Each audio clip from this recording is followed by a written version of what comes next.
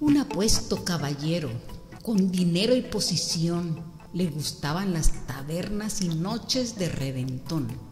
Ya saliendo del tuburio, no muy tarde ni a oscuras, atropella a un pobre niño y no le da sepultura.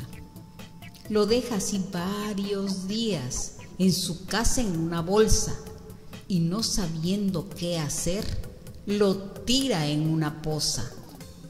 Todas las noches escucha este apuesto caballero con gritos desgarradores y suplica con clemencia, pues niño se le aparece a los pies de su aposento a romperle uno a uno y cada noche los huesos de su esqueleto. ¡Oh! ¡Oh! ¡Ah!